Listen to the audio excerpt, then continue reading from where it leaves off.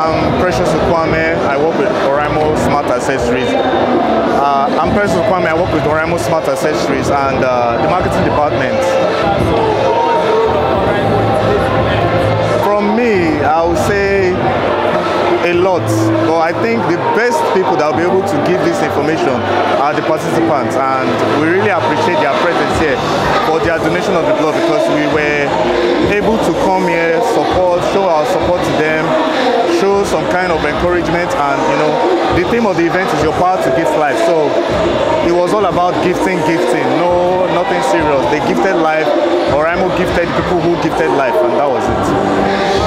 Well, uh, it's very, very innovative, I would say, and for a group of young men to put something like this together and uh, you know it's not really always it doesn't really have to always be entertainment based where people gather around is something that really matters in the society. And like i said for a group of young men coming together and making something like this work out is